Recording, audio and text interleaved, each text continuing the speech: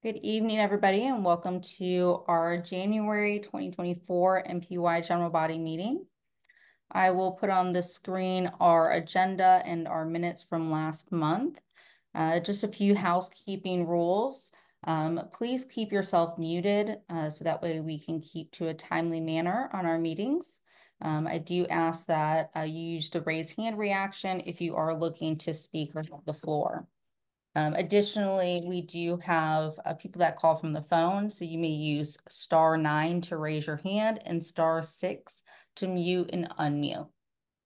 Uh, first up, I will um, ask to approve the minutes. Uh, let me just switch the screens here to our minutes.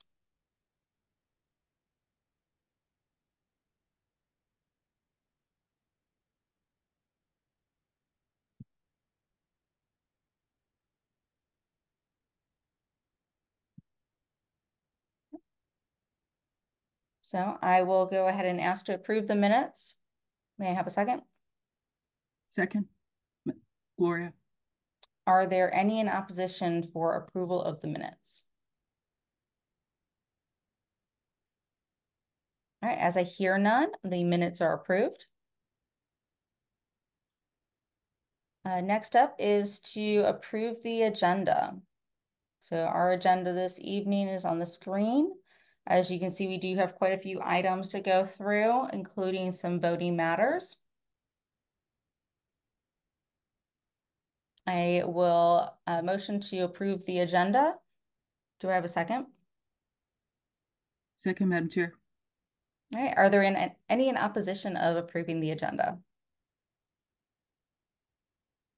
All right, as I hear none, we will move forward with the approved agenda. All right, first on our agenda is reports from our city departments and our representatives. Uh, please keep your comments in up uh, to two minutes or less, and please hold any questions until they are finished. Uh, first up, I will call um, Captain Pettis. Good afternoon, everyone. I just want to give you our year, year end uh, stats first. Uh, zone three was minus 6% down for the year total we were down in every category homicide, rape, ag assault, robbery, burglary, theft from motor vehicles, shoplifting, all other larceny, except for motor vehicle theft. That is the only category we were up in, and we were up 88%. Wow. So we still finished minus 6%, but that 88% uh, really hurt us. We probably could have been down about 25% if it weren't for the Kias and Hyundais. Um, next, I'll tell you um, how we did for the month.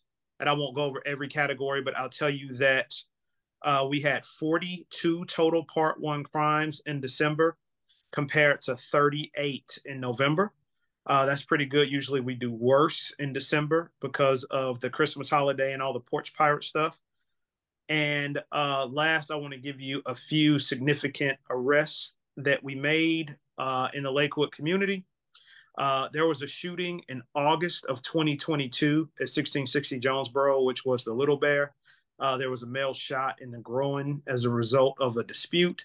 Um, we finally located him uh, with the assistance of our APD fugitive unit. Uh, so that's somebody that had been on the lam for about a year and a half.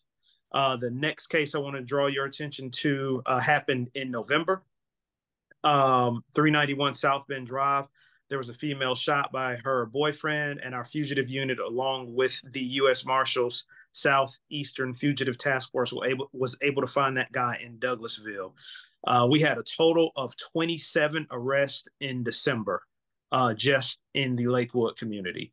And eight of those were for narcotics, which, as we know, is a crime that continues to plague the community. Um, I didn't want to give you the typical uh, month breakdown, but I have it if anybody wants to hear it. But that's what I have for now. Thank you so much. Uh, do we have any questions for Captain Pettis and our APD officers? Gloria Hawkins Wynn, you have the floor. Madam Chair, do you mind uh, if you will drop the link to our big uh, forum, our public safety forum, which will be held by Zoom in, I think, the 24th uh, I think that's probably appropriate to put that out now while Captain Pettis is on. Uh, one only one question, Captain Pettis. There was some information on next door that the the vendor who is next door in the Amoco, the old uh, Chevron, was shot. Is there any? Was there uh, an ag, ag assault or shooting at that location? That is true. That happened last night. Um, he was shot near the intersection of Terman and uh, Jonesboro. He was in his personal vehicle, and we don't have any indication as to whether it was related to his running the business there at 1683 Lakewood. But that is true. He uh, he's stable condition. He'll survive. Hmm. And no no evidence of the who the perpetrators may be. Is that what you're saying as well? That's what have anything at this point other than he was shot by somebody in a different vehicle. All right. Thanks. Thanks. Thanks, uh, Captain Pettis. You're welcome. And if there's nothing else, we look forward to uh, seeing you guys again next Wednesday on the 24th. Thank you. Thank you so much. Thank you. Uh, we do still have one more hand raised. Um, Paul McMurray, you have your, you have the Yes, floor. uh, Captain Pettis, could you, um, email that report to, uh, NPU-Y? Sure. And in the future, can you do that? Because we want to save it in our meeting documents. Sure. No, I got it. Thank you so much. Uh, Gloria Hawkins Wynn. Just um, one, one last question to Captain Pettis. I heard that we're eighty-eight percent up in auto thefts. Is it that the, the autos are being stolen in zone three or are they just being dumped in zone three? Those are auto thefts. Unfortunately, uh, the though the Kias and Hyundais are having their software updated so they aren't stolen as easily. Every time they try, we still have to take that as a motor vehicle theft report. So, um, to- toward the end of the year, we were getting to about 50 50. About half of them were successful thefts, and the other half they weren't able to leave with the car. Obviously, it's good that they weren't able to deprive the person of their vehicle, but they still attempted to commit that crime. And zone three is still, uh, uh, um, have, has available the locks, the, uh, anti-theft mechanisms. You- you all We do. The Okay. club, The we, we take it with us and hand them out on every attempt at theft. Very good. Thank you, sir. You're welcome. Thank you so much. I'll now hand it over to Gloria Hawkins Wynn for our public safety report, as we do like to piggyback these two. Okay. Absolutely. Uh, but I spoke to Major Rickers. We can see, uh, Major Rickers not present and Captain Pettis who is the second in command at Zone Three. We are excited about, uh, January twenty-fourth. It's a Wednesday evening. I believe we're starting time is six, six thirty. Is that correct, uh, Nicole? Seven PM. Seven PM, okay, a little bit later than I thought. It's your opportunity to hear directly from Major Ricker, um, hear fr- in a forum that speaks directly to our questions.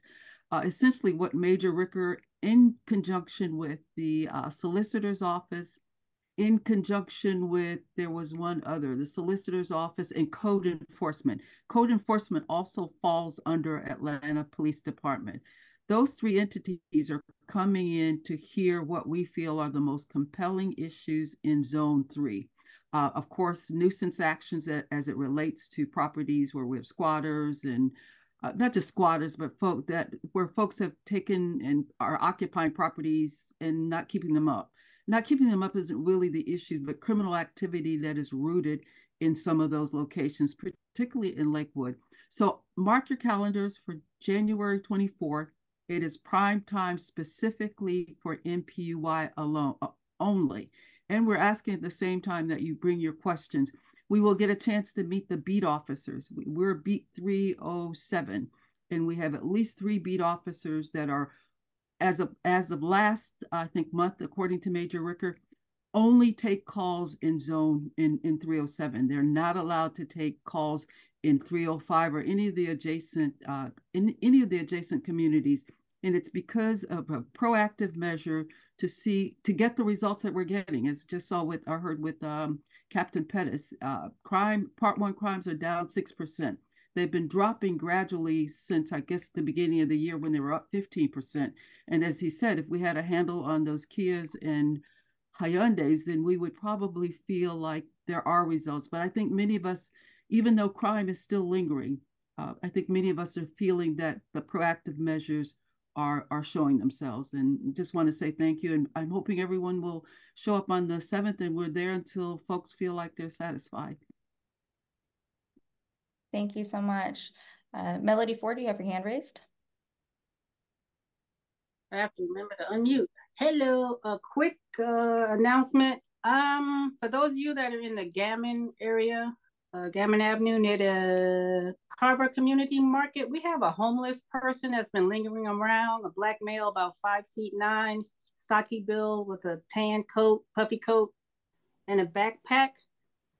Um, today, uh, during my shift at the market, he did come in and steal some items. We called 911. Previously, he followed an employee home. Long story short, he has taken up residence in the park. We have some complaints. I'm working with uh, Captain Pettis and Sergeant Luca over at uh, Zone 3. If you see him in the area, uh, I'm going to put my, my mobile number in the chat please let me know because we need to get him. He has two options. He can either get some help uh, at a at a local shelter, or he will end up in jail. But um, he is harassing an employee and again trespassing at uh, the Carver Community Market and Cafe. Thank you. Thank you. Um, and I believe uh, Captain Pettis is still on, um, but if he did not get that in his report, uh, I'll make sure that uh, we forward that information to him uh, again. Yeah, he has it. He's he's been working with me. It's just so hard to catch him. And um, as you know, of course, when we call 911,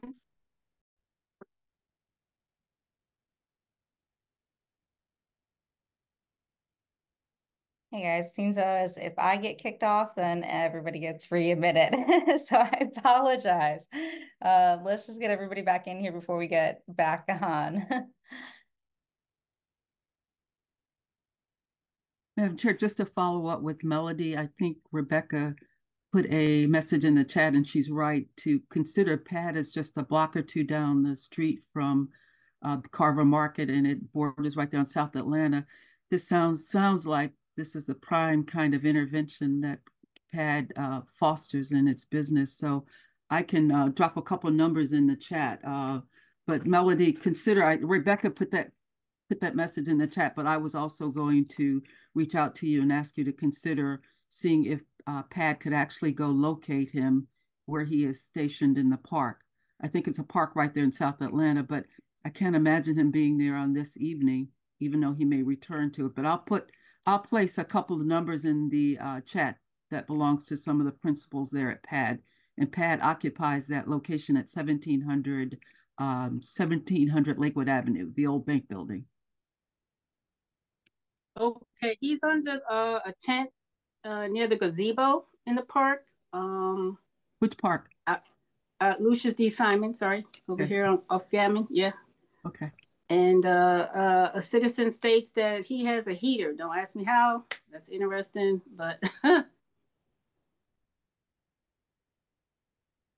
right. Um, so we will move on to our next raised hand. Um, Adrian. Hi, so this Question. also follows up. Yes. Can, can you hear me? Yes. yes. Um, so this also um, follows up with public safety. Um, both Gloria and I serve on the Atlanta Citizens Review Board. I was appointed by APAB to specifically represent NPUs S through Z. So Y is one of the ones that I'm um, that I'm supposed to announce and uh, announce. But you can also go to Gloria if you have any questions. Um, She's appointed by the uh, city council president, I believe. So this is not anti police at all. This is uh, so the Atlanta Citizens Review, Board takes complaints about um, police conduct. I just put in the chat um, um, a, a little um, flyer that kind of gives you some examples of the types of complaints that we take. Um, and you, you can go to, so the phone number is on the flyer, or you just go to www.acrbgov.org. So all of this is done in cooperation with the Atlanta Police Department. The Atlanta Police Department, more than anyone, wants for police to be um, following uh, approved standard operating procedures. And when they don't, they, they want to hear about it as much as anyone else. So please um, keep this in mind. If you, if you have any issues, um, please report them. And if you have any questions, ask Gloria or, or myself. Thank you. Thank you so much. Gloria, Gloria, do you have anything to add? Did I leave anything out? Thank you, Adrian. Thank you very much. All right, so are there any other questions for our Public Safety Committee or our Public Safety Officer? All right, as I see no other hands raised, thank you guys. Uh, we will move on to purpose-built schools. Cache? Good evening. I am Chasha Colbert Williams, Director of Community Engagement and Student Experience. I just wanted to share some wonderful news with you all from Purpose Built Schools Atlanta um, for the first time under the leadership of Purpose Built Schools Atlanta, um, Price, um, Slater, and Carver High School are no longer on the Georgia Department of Education state list. So we have exited the list, and that's the first time that that's ever happened under PBSA. So I wanted to share that wonderful news um, just to let you know some things we're focusing on as we move forward. We celebrated being off the list for one day, and then we were back to business, um, making sure that our scholars continue to be successful. So we're making sure that we're looking at those Lexile levels that our children are reading within their grade band. Also making sure that attendance, we want to make sure that we encourage our children to come to school, that they find value in their education and making school fun for them as well. Another piece that we're looking at at the high school is graduation rate. We want to make sure our students are graduating within four years and they're college and or career ready. So I just wanted to share that amazing information with you all. Thank you so much. Are there any questions for purpose-built schools? All right, as I see none right now, I appreciate you coming on the call. We do enjoy the update from you guys. Thank you. Thank you. Uh, we'll move on to Gerard Jackson with Park and Rec. You have the floor. Hello, everybody. I hope everyone's having a wonderful and warm afternoon. Um, I just have a few updates to um, prepare. The first thing is there will be a brand new CFM, that's the Community Facility Manager for South Bend and Ferguson. Once I get their details, I will let you guys know. It'll probably the next NPU meeting. I have them present themselves but there will be a new manager for South Bend and Ferguson. Um, I just want to remind everybody that women's shelters are open whenever it's below 35 degrees. Please contact 301 or you can contact your local rec center to find out what centers in the area or which centers are close for people who are experiencing poverty levels or homelessness. I also want to let everybody know that coyotes have been seen around Atlanta and in our park areas. So I want to know a lot of people walk, a lot of people, you know, play at the playground, be at pavilions. Please, oh, please, oh, please. Number one, if you see one, please report it to Fulton County Animal Control. Second, for your little kids and little dogs, please stay vigilant. Please stay vigilant because as it get colder, food gets scarce, and you know things can happen. We want to make sure that we inform everyone about that so everyone can stay safe. Also, I'll be putting in a check a flyer that outlines all the up and coming events that's happening throughout Parks and Rec. So, you know, you guys can stay informed. And if anything of interest, please contact your local rec center to get further information. At this time, if there's any questions or concerns, please let me know. All right. Do we have any questions for Park and Rec? All right. As I see no hands raised, thank you so much for being on the call. I appreciate it. Thank you. Thank you. Next we'll have is Officer Cofield with Code Enforcement. You have the floor.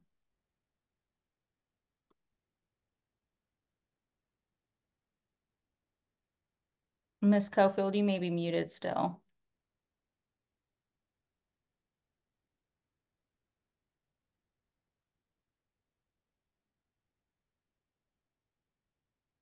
This is Officer Cofield with Code Enforcement for the City of Atlanta. Um, I really, I really don't have anything for today. Um, only thing I'm just concerned with the in the particular area is um um cases that I'm dealing with with the courts as far as um nuisance abatement. Um I have more than one that I'm discussing with the courts. Um and we're trying to go through those. Um so with that being said, just give me a minute as far as discussing it with you all as far as what they're going to accept as nuisance abatement and what I'm actually offering. Some of them have gone to in rem, and I would love for Jocelyn um, to get on here and to explain the process of the in rem process. But at this moment, she wasn't available for tonight's call. But I do have her and maybe she can be at the next meeting to uh, explain the in rem process to you all as far as how it is. But a lot of the, uh, the cases in you all's area that I'm discussing with the courts, I'm actually offering for the in rem process. Thank you so much. Um, I think that we would be greatly beneficial to understand the in rem process um, as it is a report that we receive and gets uploaded to our website. Um, and I know that it's something that uh, there is no NPU University on, so it's not there's some outside training. Um, Thank you so much, but I'm gonna actually try to get her on here as of next time. Um, she wasn't available this time, but I'll try to get her on here. no problem. Next, just let me know. Yeah, just let me know, and we'll make sure that we get her the time uh, required on our agenda. I'm gonna okay. Thank you. Yep, I'm gonna open the floor for some questions. Gloria Hawkins Wynn, you have the floor. Madam Chair, I think Ms. Lyles is to be one of the participants at our January 24th meeting. She is, uh, she's probably been in code enforcement probably for over a decade. Uh, as uh, as uh, uh, Inspector Cofield just alluded to her, she she's somewhat up in the chain of command, but she is the one that actually oversees the in rem actions, which again uh, definition is basically the city takes possession of it based on some some failure, whether it's to pay taxes, whether it's failure to uh, remediate. But the thrust of it is Miss Lyles will be present and probably along with several other, uh, perhaps even Miss Talley, who is the director of the department. Yeah, it'd be wonderful if we can get them on um, on January 24th as well. Um, Paul McMurray, you have the floor.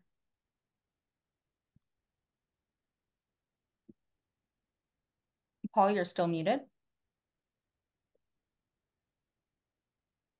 Ms. Cofield, I was looking up the in rem board on the city website, and it's one of the few boards that don't list its members. Is there any way we can find out who the members of the in rem board are is? I think that would be left up to Jocelyn and she can discuss with you all who the members are of the in rem board. Once I bring her in, and I would love, I was loving, I wanted her to come to this particular meeting, but she wasn't able. So um, we were actually let go um, at 11, and then the actually council, actually the city of Atlanta, the actually the whole day. So I will try to get her in here and ask you all who the in rem board members are. Um, I know it actually does go to court. I don't know the actual process of it. Um, she will be able to explain that to you once she comes in here to the actual meeting. certainly talk to her directly. Um, Paul, is that okay? I think I'll send you an email and um Okay, that sounds good. Um, do we have any other questions for Officer Cofield at this time? As we have none, thank you, Officer Cofield, for being on the call. Appreciate it. I hope you all have a wonderful evening. Thank you all so much. You too. All right, next we will bring up is ATL 311, which is with our PAD, Policing Alternatives. Good evening. My name is Nancy Sproul, and I am your ATL 311 ambassador.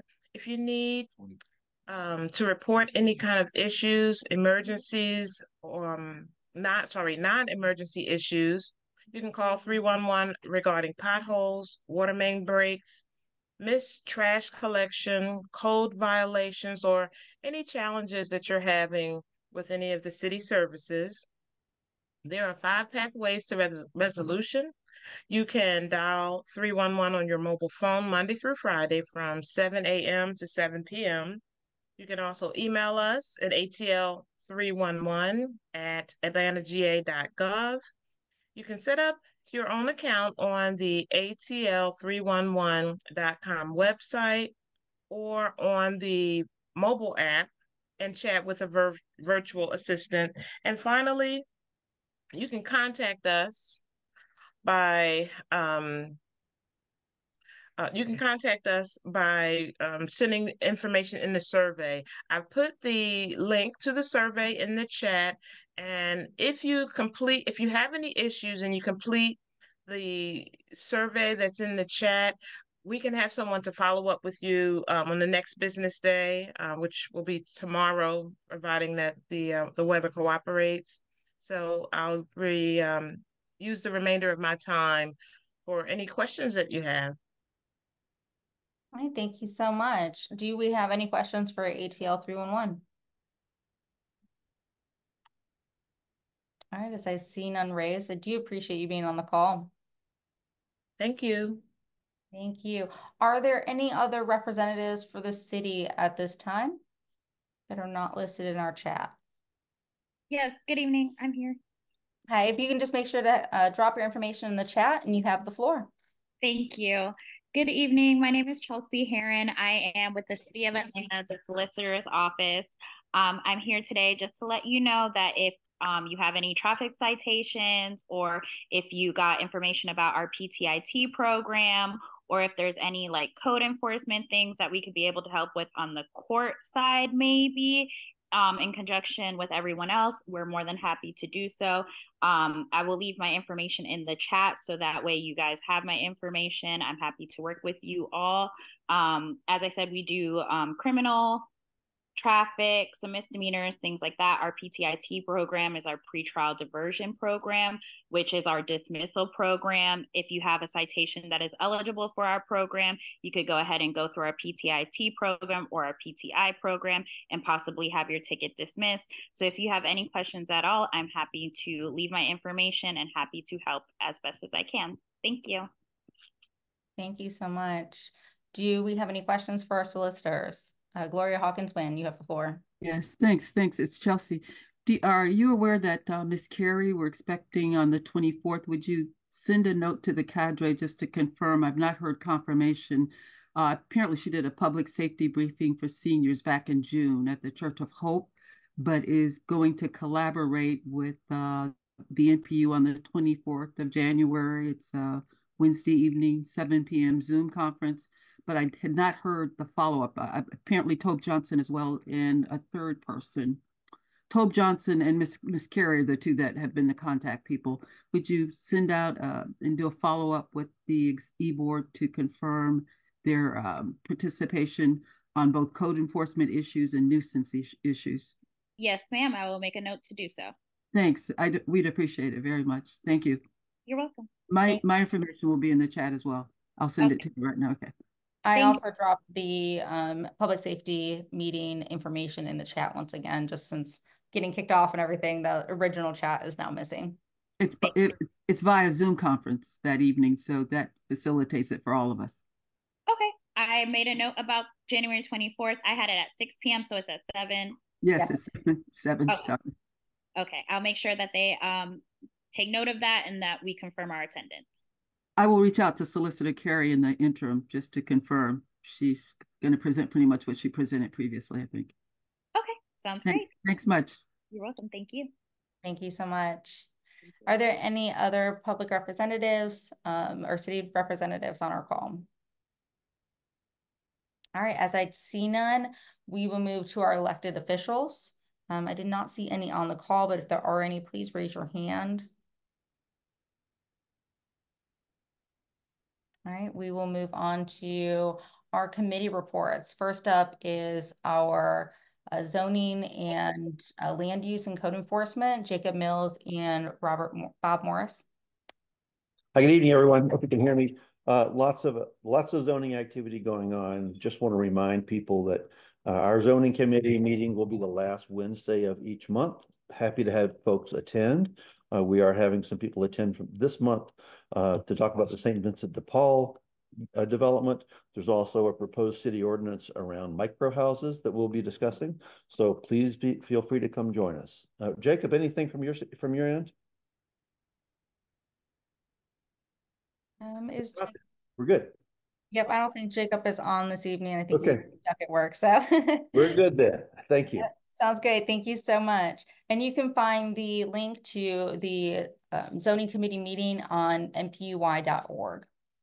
Next we'll have up is our park beltline and environmental. That is Dr. Rebecca Robinson. Hey, good evening. Nothing to report today. Thank you. Thank you. Uh, next will be from, do we have Lakewood Oversight? Yolanda Cameron? Uh, you are still muted. Muted. Yes, thank you. uh, nothing to report today. Thank you. Thank you. And do we have anybody from Liquid Finance? All right, move on to. Um, this is Kanika Greenlee. Uh, nothing to report. We meet tomorrow to review um the the uh, grant submissions. All right, thank you so much. And uh, next we'll move on to is our APAB. Uh, absolutely nothing to report other than, as I stated last month, we're in major reformation of our bylaws. We have elections this Saturday. Uh, we have eliminated four officer positions and we're trying to be all that we can be. We essentially are a policy-driven uh, entity that advises the city. We are collectively 25 NPUs, all bringing the various issues as each as each NPU has very uniqueness to its to its people, to its its all of the issues of infrastructure that affects that individual NPU. So what we're we're I guess if I can say anything, I'm going to bring back to the table the one item that I have worked on as a part of the transportation committee, and that is a resolution. It's really a recommendation to APAB that we forward to the city that speaks to the impediment created by the train tracks right along Sawtelle and other uh, areas of the community that impede the flow of traffic, that uh, really has created more of a nuisance. My understanding is because um, Norfolk and those tracks basically uh, are part of what's considered interstate commerce. There's less we can do per se other than regulate directly at the crossing itself. My understanding that is what we're learning and hearing that the city itself has jurisdiction at the crossing and is at the crossing maybe that we can fashion a remedy that would kind of um, eliminate what has become a nuisance, not only in our community, which is uh, essentially Lakewood. I believe it flows through other components, other parts of um, of NPU-Y, but certainly in the northwestern quarter, that's where the loudest voices have been in helping draft this resolution. So as soon as we are we have it complete, I will send it. I will bring it back to show what we're putting before council.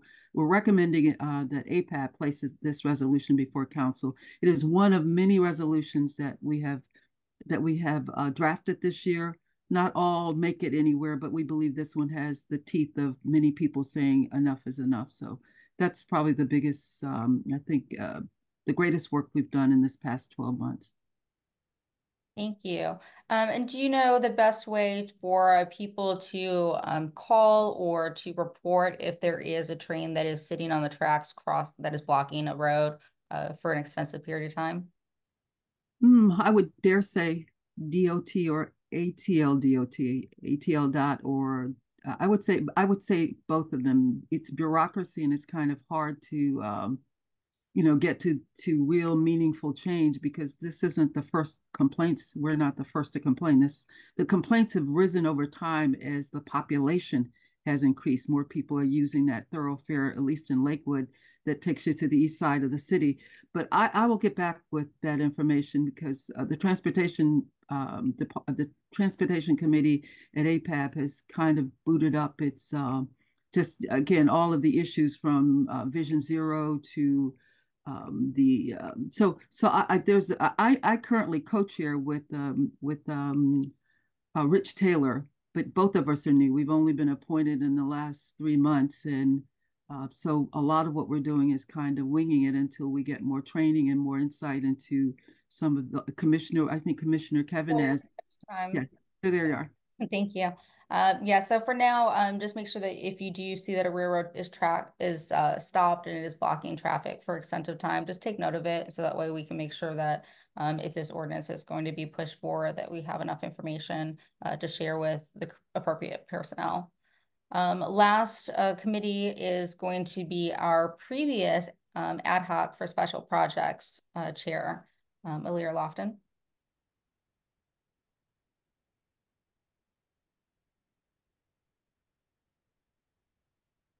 You are still muted at the time. Hey, I have nothing to report. We closed out CIG, so we're done for uh, last year. Perfect. Closed out is great. All right, now that all of our committee reports are completed, do we have any questions from the general body to any of our committees?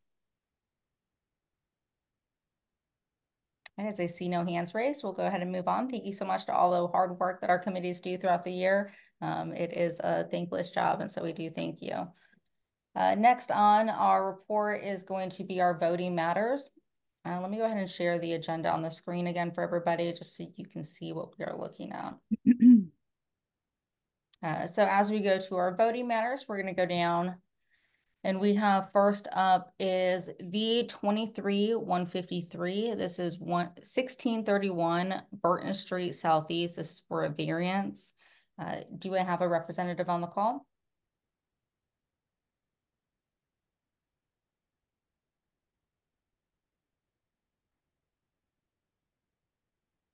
Is there anybody on the call to represent V twenty-three one fifty-three off of Burton?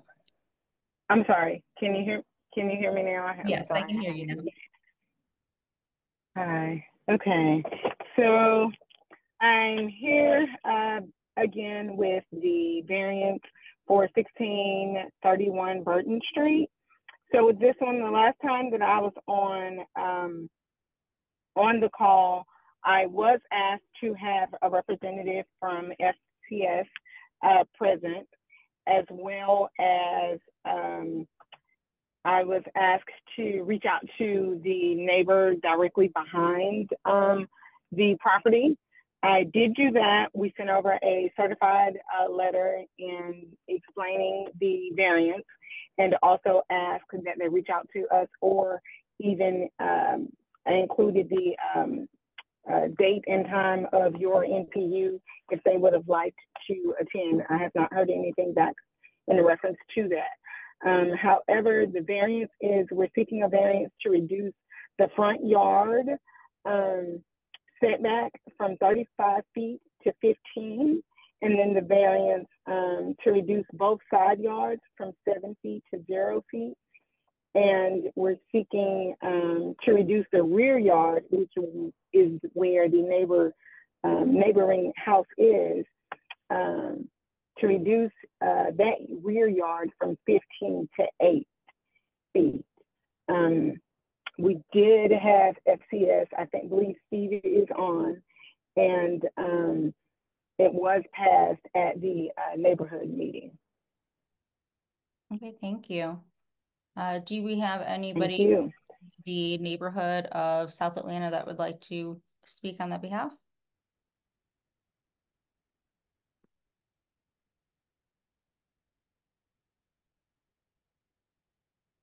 As I see none on here, um, would He our was on a little earlier this, uh, at the beginning of the call. I'm not sure if we lost him. Possibly with was the the with everybody getting kicked off? uh, do we have any uh, comments from the zoning committee on this? All right, before we move to any additional comments or questions, um, I did have one question about this that had been raised multiple times about the zero uh, setback and whether or not you would open to change it to a minimum of uh, four and a half feet. Uh, this is typically standard uh, to be asked this due to fire and safety being able to come between lots. If you go to a zero lot line, um, you do inhibit any sort of fire rescue being able to access the rear lot of the yard. So we're not able to make any changes in order, according to uh, the plans um, that are there, in order to build on this lot for FCS to be able to build, these um, variances and setbacks that are in place are the only ones that are allowable in order for them to build a, a home there. So you must go to a zero lot. And right, right, and um, as far as um, safety with uh, the concern of um, um, say fire trucks or anything needing to get in, they wouldn't, um, it wouldn't affect them because the back of this property, um, where the house is built, is would actually be in the back of another home. Okay, so you're talking about right here. If we can look on, the if everybody's able to see on the screen where this is. Mm-hmm. All right, uh, do I have any other questions? Uh, Gloria Hawkins Wynn, you have your. Well, excuse me, uh, Chairperson, um, I didn't get the name of the person. I'm trying to take notes who is responding here. What is that person? My apologies. I'm sorry. I was in such a rush to speak. I'm, I'm so sorry. My name is Lakita, and that's L A K E Well, can you put that in the chat? She's on the Sure. call, um, but if you want to spell it out real quick, I'll, L A K. Yeah, and, It's and L A also, K E T A. so I can describe this. Did anyone from the community speak on this? They are not Um, all at the time. Um, we did ask to see if anybody from South Atlanta would like to uh speak on the matter. Right, so no one spoke, then I assume um the person who spoke was speaking on behalf of the um applicant, is that correct? Yes, Paul, the person is speaking Yes. on behalf of the applicant. All right, so could you put your your um information in the chat so I can put it in the minutes? Yes, I did include it there. My name, uh, Fortis Homes is the builder, and my email address uh, is included as well. All right, Thank you, Paul, and please raise your hand uh next time so that way we can uh make sure not to cut off another person. I appreciate it. Uh, Gloria Hawkins Wynn, you have the floor. Yeah, I just kind of want to reiterate what you stated. Uh, uh, uh, Fort, I guess Fortis Homes is the group. I, I'm assuming you're saying that South Atlanta approved this this variance that took the variance from seven feet to zero feet. I think I hear what Nicole is saying. It just doesn't seem reasonable. It doesn't seem reasonable that there is no there's no distance between the adjacent lot and the structure that's being built for whatever reason, whether it's security for folks needing to get it. I, I'm surprised that you all are unwilling to even consider at least a three feet variance, which is what I think half of what is required. I, yes, We have to do what. So we have to do what is allowed to make it a buildable lot for a property. And yes, ma'am, it was approved with uh, the neighborhood. Um, I did receive the information back from um, Steve and Miss Cynthia at uh, FCS, Focus Community Strategy. I guess when I hear you say what is allowed, what if this body feels like it's unreasonable? How does that affect you? How does it affect me if the body feels that it's unreasonable? That it's unreasonable to have a zero lot line, that there is no distance between the, that, the lot line and the structure of the adjacent, uh, yeah, that's the question. So, so the backyard of their property is, it's their yard. It's not directly adjacent to where their home is. It's more of an empty space, um, or their empty yard. It is close, but it's not where we're impeding into their property. It's still on the property that FCS, the lot that FCS uh, currently has, this property at um, uh, 1631 Burton. So I'm hearing the structure isn't directly adjacent that lot line. There's a distance between the structure and the adjacent lot line. Is that what you're saying? I'm sorry, repeat that for me. Nicole, is that what didn't you're saying, that there's distance between the structure and the adjacent lot line that abuts this variance? Yeah, so what, if you can look on the screen, you can see that there is, um, what they're talking about is that the lot is abutting against an, the backyard of another lot, not against another house. Um, Gotcha, gotcha. Okay. So if you look at your lots here, you ha- would have a home here, this is their proposed home, and then a home Mhm. here. This lot actually runs north Mhm. to a street up here, so this is a backyard. Um, however, there's still the concern that if for some reason they, you know, public safety does need to get back there, they're unable to utilize if this um, property was to build up against the zero lot line. Um, typically, when uh, talking with BZAs, uh, you most variances do ask that we do um, a small setback just so that way both lots have a little bit of space so that public safety could get through if there was ever a case of emergency. Um, it's not a requirement, however, it is a very special um, a- approval that the BZA board would do. Are there any other questions at this time?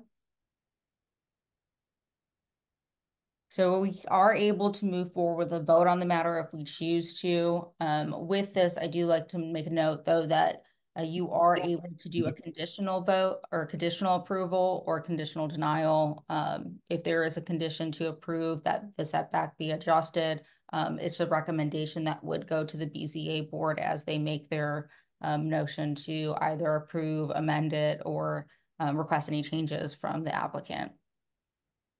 Bob Morris, you have the floor. Okay, it's Suzanne. Sorry, I'm on Bob's uh, computer. Okay, does anybody know what the minimum requirement is for fire safety between the two lots? Seven feet? What? Uh, I believe it's a seven foot between the two lots, um, which is why we always ask for three and a half. Um, Right. Four and a half is preferred, but uh, three and a half I always thought was your minimum. Minimum? Yes. Okay, and what do we, what, what would there be now? No, it's zero. Currently, she is asked, the applicant is asking for uh, both of the side yards to be reduced from a seven foot to a zero foot and a three.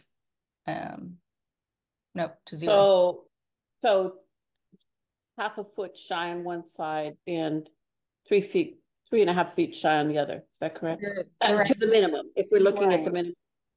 Three and a half feet minimum on each side would be um, for fire and safety. Okay, and um, it wasn't clear, uh, you have, uh, the applicant has gotten a variance agreement from the neighbor that they're okay with the fire truck not getting through. We'll let the So applicant no, answer so- that. I'm, I'm sorry. So I what we were in asked a for. I'm sorry. I'm sorry, this is Lakeisha. So what I was asked, what was asked of me at the last meeting was that I reach out to the neighbor and inform them of the property and what we were doing. Um, also ask that someone from uh, FCS, Focus Community Strategies, would attend the um, neighborhood meeting. And so with that, we did send over a letter. I sent over a certified letter to that um, owner. And I also went over and left uh, a note there at the property. No one returned um, any calls or sent anything back um, to me in reference to that. Okay, so got it. So the, the next door neighbors don't, they've been um, sent notice, but we don't know if they've taken notice, so to speak. Sorry for the pun. We don't know if they understand or were there or, or received it or read it. Well, I don't know if they read it. I know it was certified. I also sent the details for tonight's meeting to attend.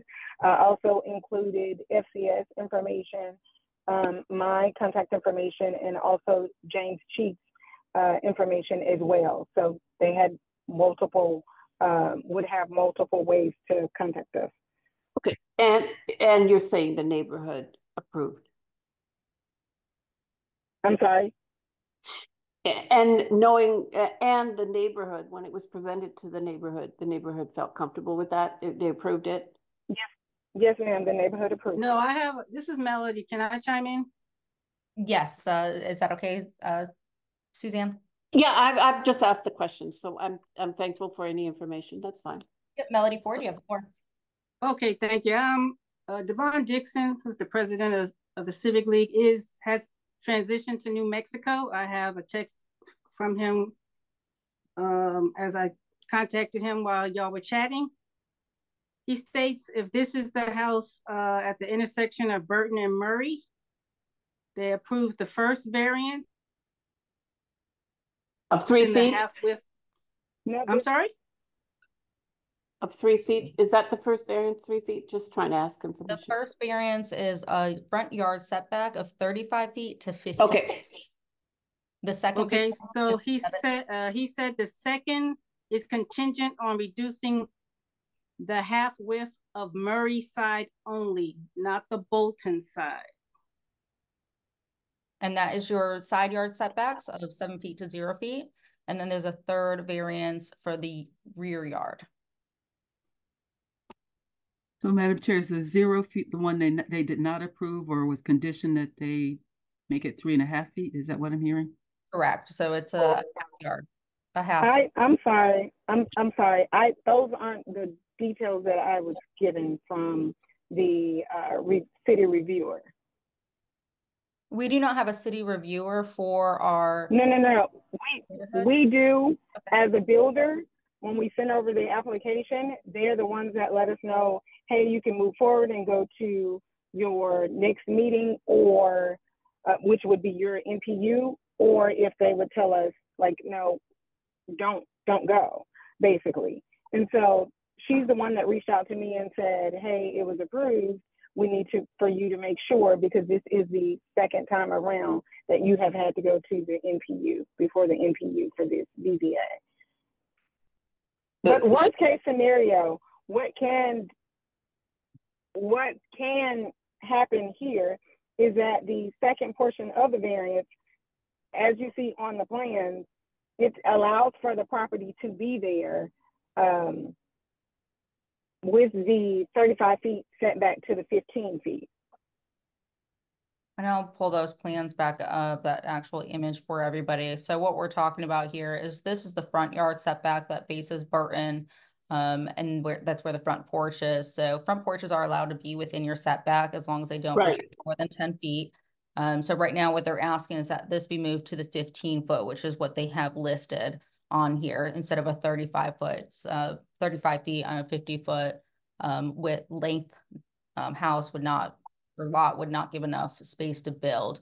Uh, the difference that they ask was also for the side setbacks uh, to be reduced from zero to or from seven to zero. Now on this plan where they have a proposed build does show a seven foot setback on each side. Um, so as long as this proposed build does stay as it exists, um, then they would not be building within that. However, if there is a variance that is approved to go to a zero lot um, setback, that would allow for them to change the site plan. The additional um, plan um, variance was for the rear setback and it was to change to an eight foot from a fifteen. And as you can see, they're not protruding within that space either.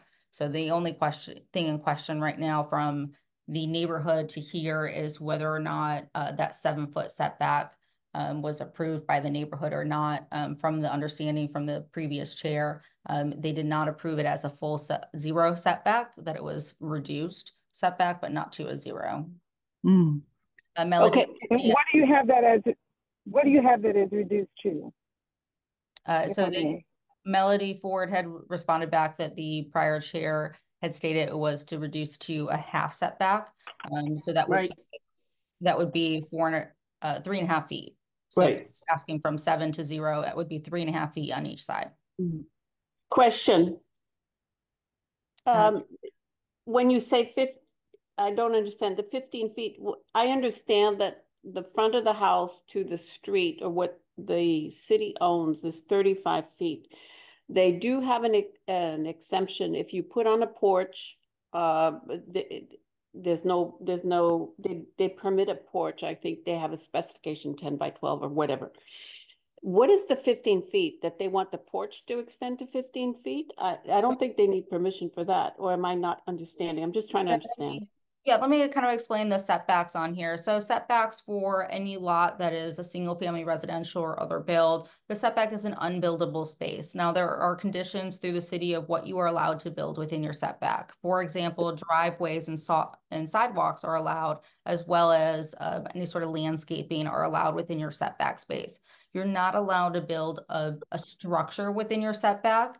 Um, however, as uh, Ms. Morris, as Ms. Otis had uh, stated, the front porch does have stipulations. So as long as the front porch does not extend into this front setback where it's sitting right now, it's within the front setback. So it's from the front property line to the setback line. It's allowed to extend into that front setback by 10 feet. Um, and that does allow homes to sit a little bit closer to the road and give a little more space for that buildable space. If we're looking at this drawing and if they were to build as this drawing displays, they are not building within their setbacks. They are building the front porch appropriately per code and all of their setbacks are side is seven. So they're not building onto that zero line. Um, does that answer your question, Suzanne? So they're so they on the only issue the porch is, doesn't matter how wide it is. It's just how far it is from the sidewalk. They're fine, but it's just a question of how much setback on the side are they required to hold? Uh, yeah, so that that seems to be what's in question. Um, they are not they're not required to hold any specific setback if they get a variance approved. Um, Right. at this time, they're asking for a zero setback. Um, and of course, the community seems to have a pushback on that. And the Um, community, just So- to reconfirm, so I understand, I'm sorry about that. Madam If- Chair, may I, I move for conditional approval? So, Uh, yes, so what I, I did want to, excuse me for one moment, I did just check this. So what I'm told is the side yard, the side variance will not be changed. They are not asking for the side um, setbacks to be changed. So they are only asking for the front setback to be fifteen feet and the rear setback to be eight feet. Yes, Thank you. Um, let's just, my uh, apologies for that. That's okay. Just make sure that there's no other question from Suzanne and then Gloria, I'll give you the floor. Okay, yeah, no, I understand now. I was confused, but uh, thank you for that clarification. That makes more, that, that makes me understand what they're asking. Thank you. Thank you. Uh, Gloria, you can have four. I'm not sure if I understand. Is it, did I just hear there's no longer a request for a zero, uh, uh, zero setback? Yes, so they Okay. are only asking for the change of setback for the front and rear setback. The side setbacks will now stay a zero, a seven foot setback. So what is the application? Is that consistent with what the application is asking? Uh, the variances within the application show both, so I would recommend if we are to make a motion to approve that you say you're motioning for the first and third variance. That's right, condition, condition upon, uh, I'm not sure, what did you just say? Uh, condition upon there not being a zero set, uh, that the variance does not now eliminate that seven foot setback. That's, that's what I think, uh, it creates the biggest unreasonableness in this. Yeah, so I'll, I'll, I'll word that again for you. So if you want to make the motion, um, that it would be approval of the variance request for variances one and three to exclude variance two for reduced side setbacks. Is that what you understand, Ms. Whitaker? Yes, Um, that, well, go ahead, The- I'm sorry. Yeah, this is uh this is Steve. I'm with FCS Ministries. Sorry it took me so long to jump in. I was having some trouble hearing on my uh computer. But yeah, it it looks like there's if you could scroll back up and let us take a look at that application. It it looks like uh okay, I'm gonna take a picture of that. Um yeah, it was supposed to be that there was, um, for the side setbacks, we were requesting zero change. Um, but it looks like the, the language got flipped around and they're saying we're reducing the side setbacks from seven feet to zero. Mm. But the, the language is just flipped around. That site drawing that you saw down a little bit lower, um, there, there's plenty of width on the lot to do what we need to do without adjusting the setbacks. It's just the front and the back. You can see that lot is about fifty feet deep. And when you have a thirty-five foot setback in the front, which is typical, and a fifteen in the back, when you combine those, you end up with actually overlapping setbacks, which gives you zero buildable space. So we're just looking to shrink the front and the back, or the setbacks, push them, push them open so we can fit a house there in the middle, but the side setbacks, uh, there was no intention to ever change those. It looks like the application has an error. Okay. Um, I will go ahead and, uh, make the motion just to make it clear on here if everybody's ready for a motion. Yes.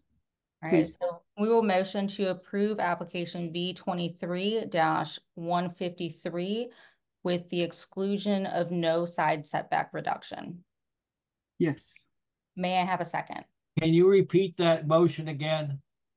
We motion to approve V twenty-three V fifty-three with the exclusion of no reduced side setback. So there will be A no. second. Yes. All right, with a second from Melody Ford. Again, I'll repeat that as I launch our poll. So this is an approval for the application. However, there will be no side setback reduction. So the front setback will be reduced and the rear setback will be reduced as displayed on the screen.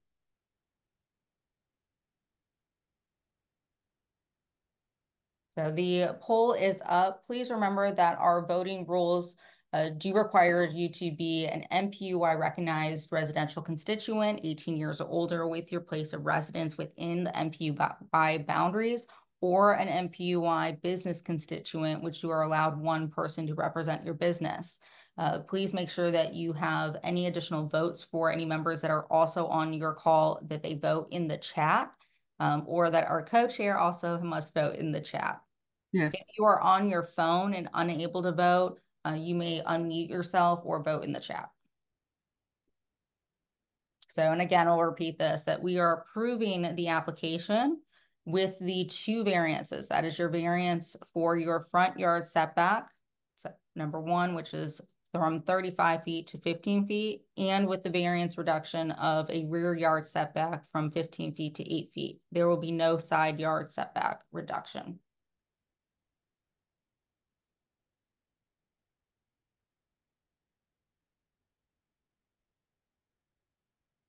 All right, keep it open for just 10 more seconds, guys.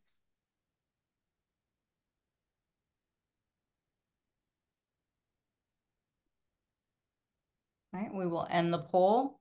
So the polling results as of right now are 17 yes, zero no, and one abstention. That does include two votes that are in the chat as yes. You can see on the screen the polling results, and there are two chats of yes. So the motion carries.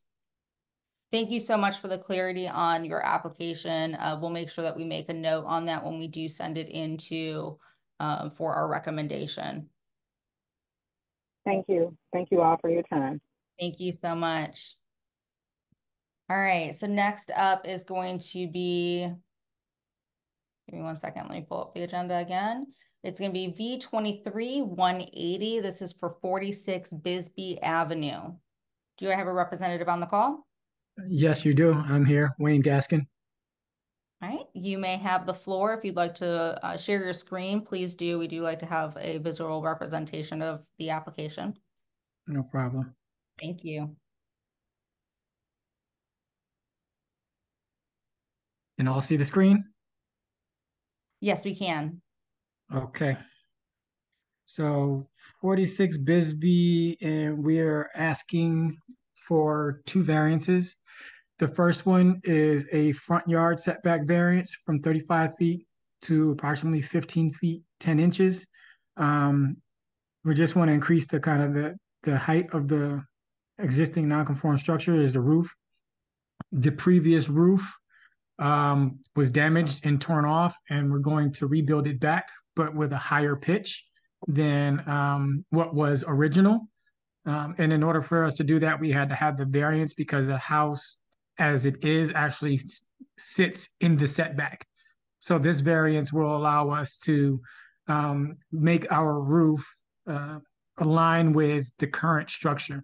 So we're not adding any square footage to the main house. Um, we are just we're just basically adding a new roof on and just making it a higher pitched roof in the front. Thank you. Are you able to scroll down to show the um, display of the lot as well? Should be one of the last pages on your application. Yeah, I I didn't I don't think I have that whole application. My my uh my particular project went through a lot of back and forth and rigmarole trying to get on the schedule, but I do have a uh, a site plan um, of what what's happening. Oops, there we go. So let me zoom in a little bit. This is the front setback here. So the current house sits inside of our setback by this much, nearly half of the house. I guess it's probably about a third of the house. Um, sits in the setback. Um, so our variance is basically just so that we can um, we can take from here all the way back and just build a new roof over the over the top of the house. Thank you. Are there any questions? Or sorry, let me bring this to our neighborhood. I know that Devon is not here, um, so I'll ask Melody Ford if you have any information from Devon Dixon on this application, if it did go through the neighborhood. Yeah, he said the 46 went through. Yes. Okay, was approved by the community. Uh, Bob Morris, do you have any comments or suggestions from our zoning committee? Uh, as I recall, the zoning, the zoning committee also looked at this and felt comfortable with the, uh, uh, with the setbacks that were proposed. Thank you so much. I'll now open the floor to any questions from the general body for the applicant. I will. Sorry, this is Paul McMurray again, butting in, but trying to keep the minutes. and It's hard to follow all this. Um, did did Melody say the community approved this? Yes, she did. Okay. Yeah, um, I'll chime in. He said there was two variance requests. The first one was approved. The second one, half depth, was approved on Murray only because it wasn't paved. Thank you. You're welcome. My pleasure. Um, have to. So those there is only one variance on this, so that is that is exactly what they're Well- asking. Well, there's two variances. Okay. So the second variance is is what Melody uh, spoke to as far as um, the half depth setback. Uh, because what's going on is that street not only is it not paved, it, it's it's like almost part of the park, um, and it's like a sidewalk that goes back to Carver High School. So it's likely that it will ever be uh, paved, um, but it shows up as a street on the GIS and and on the um, surveys. Uh, so we just wanted to reduce that to a kind of the standard seven feet setback so that we can um, build our ADU there and, and not have to um, go too too far into the property. Okay. Uh, I do have Gloria Hawkins Wynn. You have the floor. What did Melody say was not approved? You said both were approved. Yeah, you see number two where it says applicant seek- seeks variance to reduce the half depth. Uh-huh. That, that's because it wasn't paved. So you're saying it, that portion of the application was not approved? Is that what I'm hearing? That's the way I understood it. Um, but it's it's right there on the um under scope of work. So aren't aren't we on the same page? We, we are, but I was hearing something different from the, from the Oh.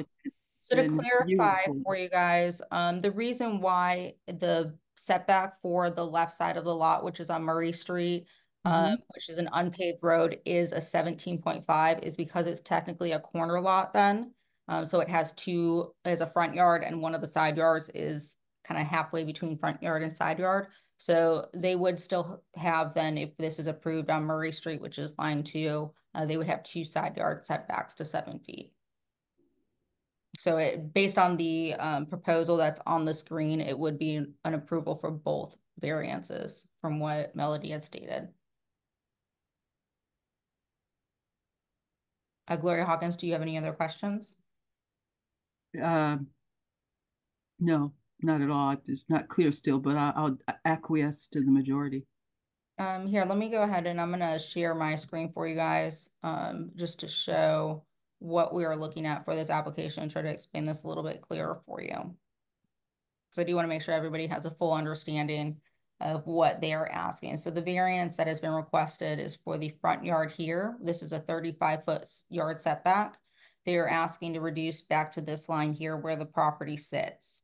Um, that would be your first variance, which was approved by the neighborhood. The second variance is for their side setback on Murray Street to be reduced to seven feet where it's sitting now from a 17.5. The reason being is that because this is shown as an unopened street in the city ordinance that requires a 17.5 setback.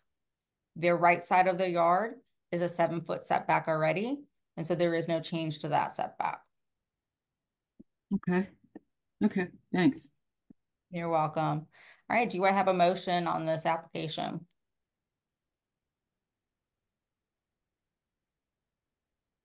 So uh, move that we, that the body approves the variances as cited in application number, whatever that application is, that the body supports uh, the approval of those variances before the B BZA. Okay, so the motion is to, the question is to approve V twenty-three one eighty, both their variances. Do I have a second? Second, Rebecca. All right, with a second, we'll go ahead and carry forward with the motion. Um, let me bring that poll up.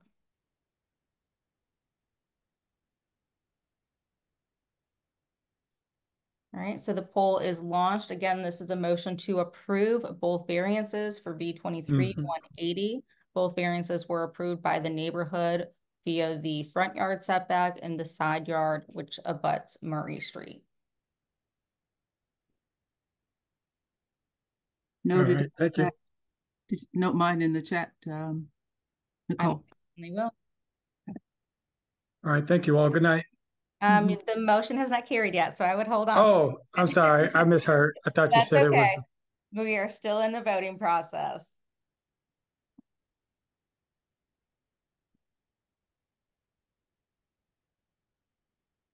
All right, so we'll leave it open for just a couple more seconds here.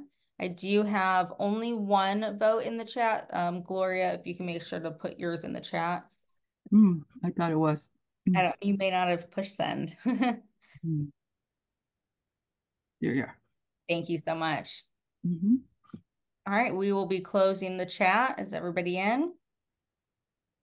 All right, I am closing the chat or the vote. So the vote carries at fifteen yes, zero no, and zero abstention. That includes two in the chat. So the motion carries. Thank you so much, Wayne, for being on the call. I appreciate it. No problem. Thank you, guys. Everybody have a good night and good rest of your week. Mhm. Thank you. All right, next up is V twenty-three one ninety-five. This is at one hundred Park Avenue. This is also for reduced setback. Uh, do we have an applicant on the call?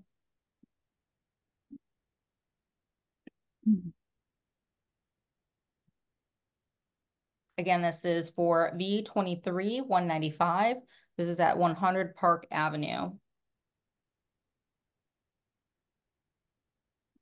All right, as we do not have them on the call, uh, we will go ahead and defer them. Um, I will do a unanimous uh, motion for this. Uh, my motion to defer V twenty-three one ninety-five as they are not in the meeting. Do I have a second? Second, Are there any in opposition? None. Quick question, Madam Chair. Did Was they? there a second on that? Yes, there was by Rebecca Robinson. Quick question, Madam Chair. Yes, Did they ever go before uh the community South Atlanta? not that I'm aware of. Melody, does, Melody, do you know if they ever appeared before South Atlanta? Not that I recall. I'm trying to get that confirmed right now through Devon. Give me a minute. But Yep. nonetheless, I think there's a decision to defer because they're not present anyway. Yeah, if we can I, carry, I want to say this is their second time defer, correct? this is their first, let's carry with the motion. for real First? quick, right. Been seconded in, in his question. Um, so if there are any in opposition to deferring the applicant. All right, as I hear none, the applicant is deferred. Um, just to answer those questions, just sorry, when, when there's a question on, that's already been motioned and pushed forward, we do have to carry the question. Um, so with this application, we were informed of this only once the agenda was released. Uh, we were not informed prior, so most likely they did not have enough notice to meet with the community. Um, so I'm hoping that they will be on our next month's agenda, already met with the community as well. Excuse me, uh, Nicole, Devon said they did not present to us, so. Yep. Yeah, they did. We did not make- this information uh, Okay. until it was very late. So I'm assumed that they they did not have their their meeting set either. Thank you for that. Got information. Okay, um, I'm sorry to ask again, but I'm trying to desperately put the stuff down, but we keep rushing ahead now. What we're saying here is we're you're making the motion to defer. The motion is already carried to defer. So, so what was the vote on that? It was a unanimous. Um, we did uh. By acclamation? you mean? Yes, So did we have a, a, I motioned. you motion, who Rebecca- seconded? Rebecca Robinson second, nobody um opposed. And Paul, I can help you with the minutes after the meeting if we need to, okay? Pardon? And I can help with any of these questions after the meeting as well. If we need to clarify any additions. Um, all right, so moving to the next item, uh, we do have on here, which is just for comment and question. We will be voting on this next month. Um, this is for a um, a new ordinance that will be taking place. I'm going to switch my screens to the ordinance so you can read what this is. Uh, this is for an amendment. It's for these smaller single-family homes. Uh, this is not specific to EDUs, but more specific to tiny homes. This would allow for tiny homes to be built on structures. Um, however, if they, it does make it so that they do have to go through a proper procedure instead of just building a minimum of 70, 750 square foot home as their principal use. So with this amendment, um, it's a special use permit that would be required if you are to have one or more detached single-family dwelling as the principal use or and or structure. And of course, again, this is specific to seven hundred and fifty feet or smaller. This goes and carries forth on all our um, properties as well as PDHs. I'd like to ask if there are any questions about what this means before we move to the next item. Again, we will not be voting on this this month. This is something that we are discussing. We'll discuss again at our zoning committee meeting. So if anybody has questions um, that are not answered during this meeting, we can also clarify them there. Gloria Hawkins Wynn, you have the floor.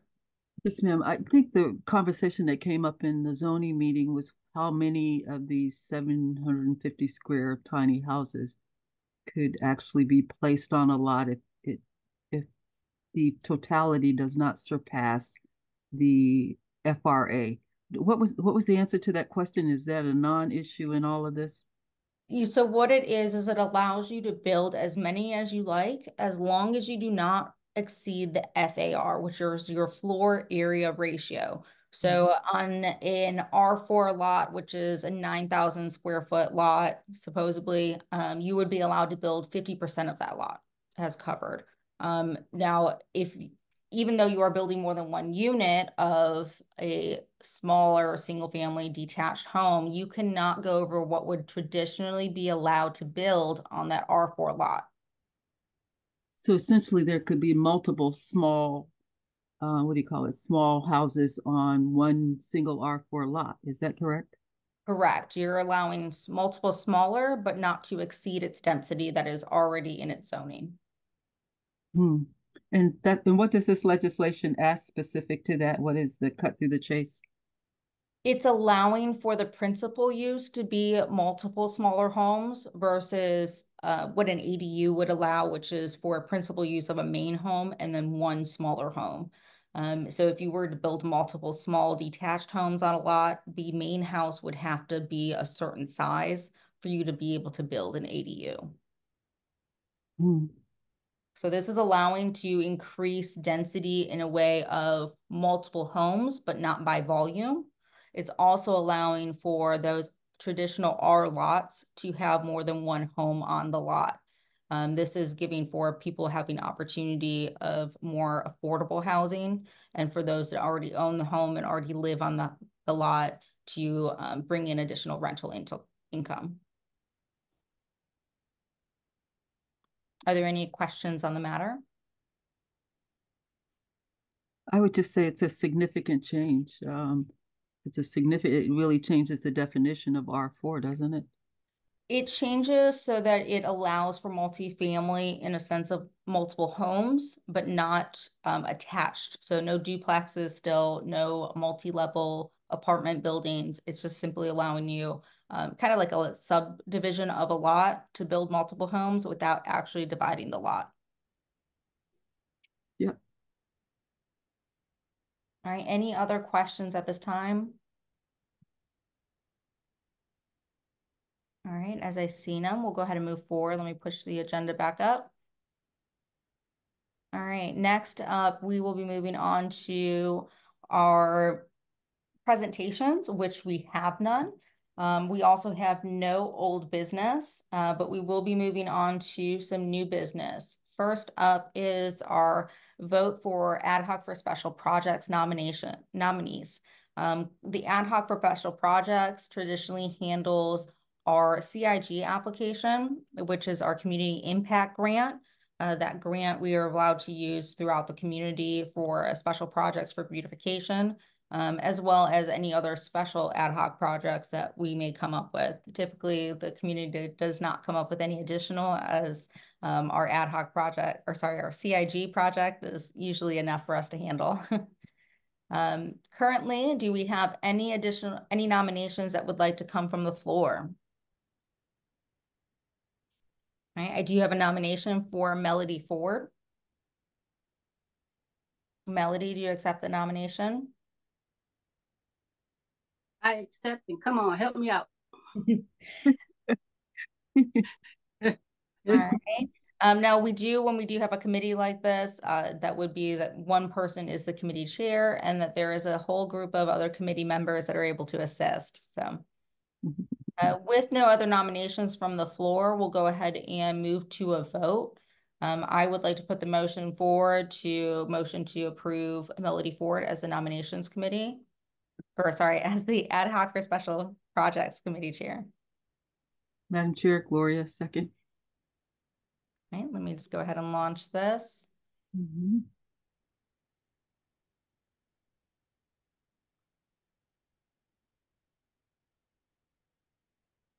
Paul has his hand raised. Paul, you have the floor. Yes. Um, you know, I read the case for this and everything, but there's just not enough here that can tell me what's a use case, what situation would happen where this uh, ordinance would be invoked. Um, are you talking about the prior ordinance, Paul? Yeah. If we can say finish with this um uh agenda item because we've already. Uh, I, got, I had to go to the bathroom, so we can go back to it. Um, just let's finish with this ordinance because we have a motion on the floor, okay? Or with this vote. Uh, so the vote, um, I do have a second from Gloria Hawkins, correct? Yeah, that's right. That's right. So the motion on the floor is to approve, uh, ratify Melody Ford as the ad hoc for special projects chairperson. Let me just launch this. Mm -hmm. Um, mm-hmm.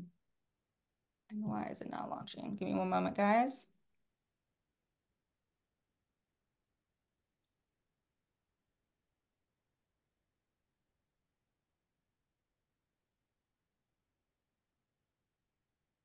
And it says it has already been launched for some reason. Uh, what we will do, is there any in opposition for Melody Ford being nominated, being voted in and ratified as the ad hoc for special projects chair. All right, with none in opposition, the motion carries. Melody Ford, thank you so much for taking on the role. Mm. Thank you. Thank you so much. And if anybody would like to assist her with any of these projects, we are going to go over some of those projects here shortly. Um, but we would like to have some more members of the community that assist the ad hoc for special projects, especially when it comes to our CIG grant.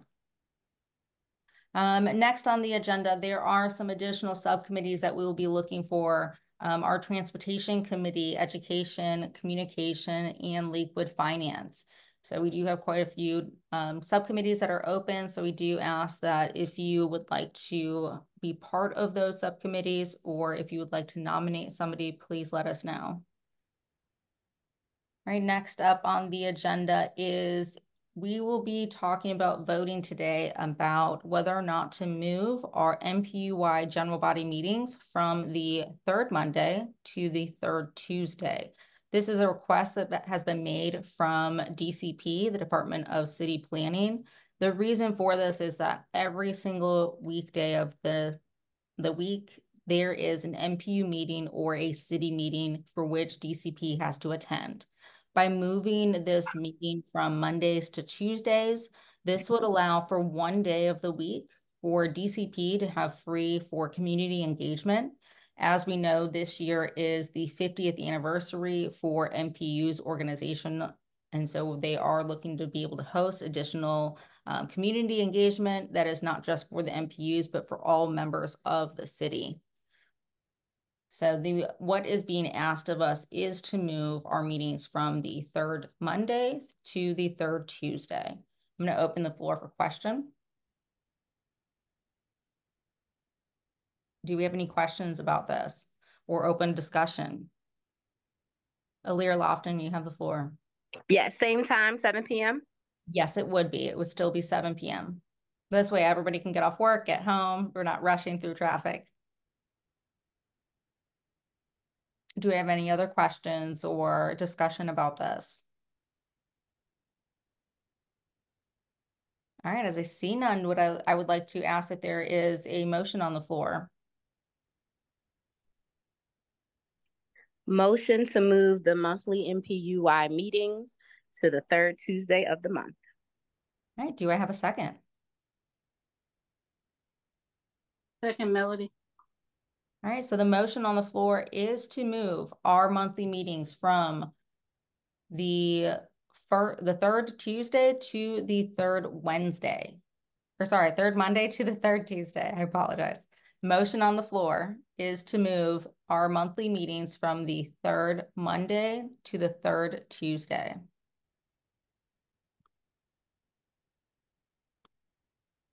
Um, and I'm still not able to launch polls for some reason. Give me one moment.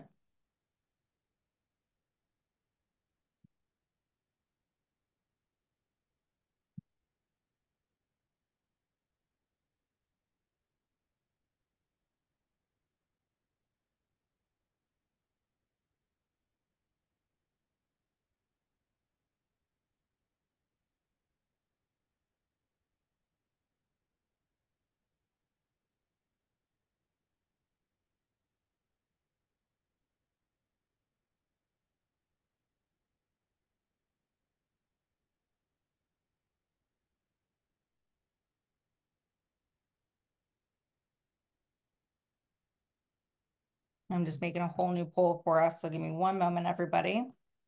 Okay, Nicole, do you see the question in the chat? Um, do not yet.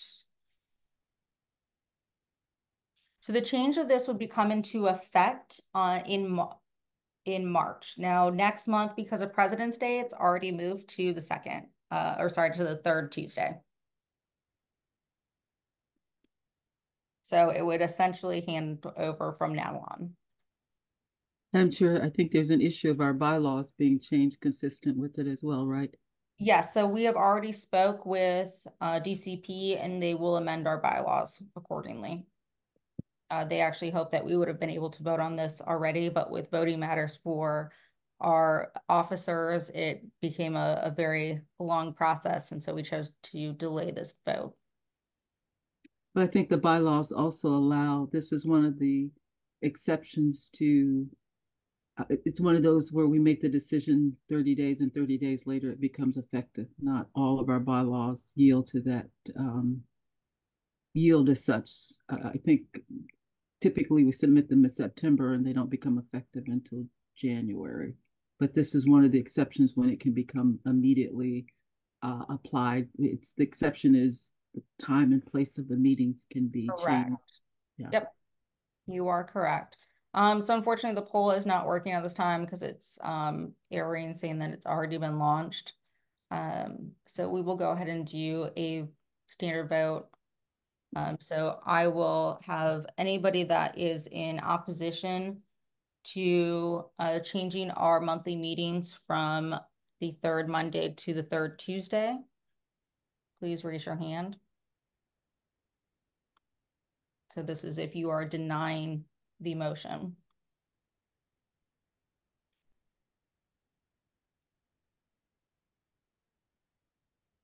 All right, as I see no hand raised, that means a unanimous vote has been approved. So we have carried over the motion to approve that our monthly meetings will be changed from the third Monday to the third Tuesday. With next month already being moved due to a holiday, it will take official effect in March. All right, next up on our agenda items. Uh, we will move over to our announcements. Uh, so as I stated, our February meeting is has been moved. Um, that is due to the holiday, so everybody is able to get a three-day weekend. Um, we do appreciate everybody taking their time to, for these meetings, so we want to make sure that you also get time to enjoy when there is a holiday. Um, next on our agenda is our, for our announcements, is our Public Safety Committee meeting, which we have spoke about. It is on January 24th, and that will be at 7 p.m. So please be there if you want to discuss any community concerns about our public safety. We should have our um, APD officers on there, our council members and their representatives, as well as the solicitor's office on there. And code enforcement, code enforcement as well. Code enforcement as well, correct. Mhm. Um, next up is about our next CIG application. Uh, with Melody Ford being our new ad hoc for a special project, she will be assisting with this uh, next month. We have already come up with a couple ideas as to what we could uh, vote on the matter, so we're going to discuss that. Um, let me just get the right screen up as I closed everything out. Uh, so the few items that we came up with this year, um, we did have on there for mural light boxes last year, so we are carrying that over. Those are for the electrical boxes that are in the neighborhood. The proposal would be to paint a minimum of one per neighborhood um, in hopes that we would also be able to utilize some of our high school or college students so that we would be able to reduce funds on that. There is also the application of mural of a street art. Um, as you know, some of our neighborhoods have street art that is actually painting the middle of a crossroad. So we were looking at doing some sort of mural in that fashion. There is the also of doing uh, community outreach, which would include additional mailers. We would be doing mailers throughout all of NPU, and with the funds, we would be able to do them more than once for every single resident within the neighborhood. Do I have any uh, suggestions for any additional items that we may vote on next month in February?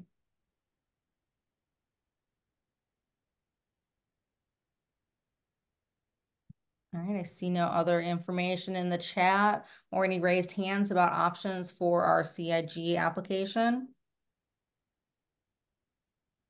There is also doing Unity Day again. I will put that on the list.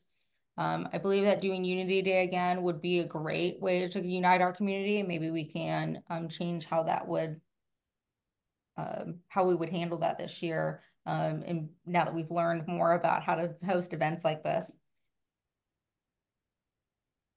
Thank you, Lear. I know it was a, a great success last year. Yeah. Right, any other um, recommendations for our CIG application, which we will be voting on next month? All right, as I hear none. So with the CIG application, we will do a full presentation next month and vote on them so that the application can be submitted in time. Uh, there will be no chance to defer this until March because it does have to be submitted prior to our NPU-Y meeting in March. All right, with that being my last announcement, are there any other announcements from the general body? Please raise your hand.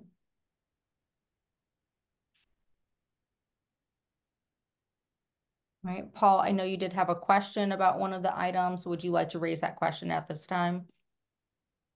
Well, can you tell me what the vote was?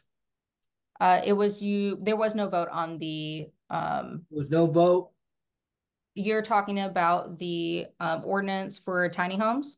Right. We did not vote on the matter. The votes next month. It was just an announcement. Okay. All right, with no other announcements or hands raised, I will hand this over to our city planner. You now have the floor.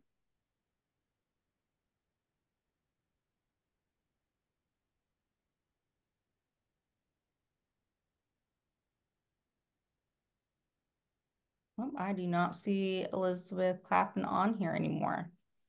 All right, she may have been kicked off in some of the process, so we'll make sure to get in touch with her. Uh, from my understanding, there have been no announcements from city planning um, outside of the fact that it is the NPU's 50th anniversary. Uh, so they will be hosting um, some public engagement events. If you'd like to be more involved, as they will be doing um, some banners throughout the community as well, um, and throughout all of the city of Atlanta, uh, please just reach out and we can connect you with Leah Lofton, or sorry, with uh, Alira. No, Leah LaRue. Leah LaRue, sorry. No worries. Some of our people here. Oh, Um, yeah. Leah LaRue, and she will connect you uh, to those st- specific committees. Um, so if you would like to participate, please let us know. Mm-hmm. Uh, with that, I will motion to adjourn our meeting at eight forty-three. Um, Rebecca. But until we adjourn, we all need to say happy birthday to our newest Public Safety Committee member and now ad hoc committee chair, uh, Melody Ford. Happy birthday, Melody. Where's Happy that little canine that sits in your lap and says, happy birthday, mommy? Okay, she deserted me a little while ago and now she's asleep in her chair.